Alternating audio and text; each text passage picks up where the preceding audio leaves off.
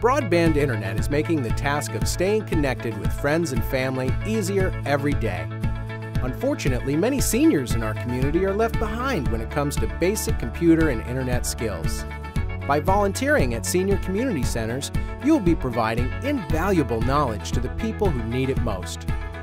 We need your help as much as they need yours. To find out how you can make a difference, visit sfconnected.org.